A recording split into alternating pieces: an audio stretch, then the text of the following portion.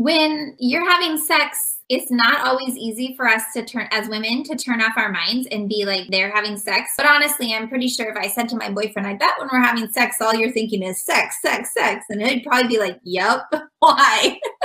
Because they seem to be able to turn everything else off. Like it doesn't matter if they had a bad day or a good day, it doesn't matter what they have to do next. Like they're having sex. And for me, that's harder. The more connected I am to the person, the easier it is to ground into my body and be more in my feminine and stuff. But it's just not as easy for me to flip that switch, especially if I've had the kids for the day and I've been running and doing mom stuff. It's a lot harder for me to turn that switch off and just focus on being here having sex.